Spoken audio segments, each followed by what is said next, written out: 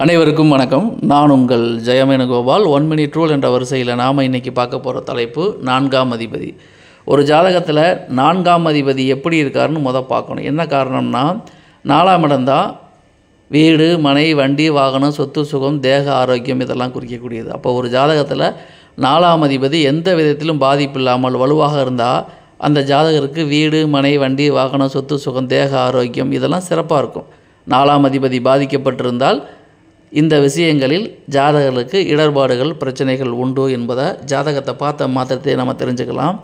ஒரு ஜாதகத்தில் நாலாம் அதிபதி நல்லா இருந்தால் சுக வாழ்க்கை ஜாதகர் வாழ்வாரா வாழ மாட்டாரா அப்படிங்கிறது நாலாம் இடத்தை பார்த்தே கண்டுபிடிச்சிடலாம். நாலாம் அதிபதியுடைய நிலைமை தான் ஜாதகருடைய வளத்தையும் ஜாதகத்தின் பலத்தையும் சொல்லும் என்பதை தெரிந்து கொள்ளலாம். இவை பொதுவான தகவல் தான்.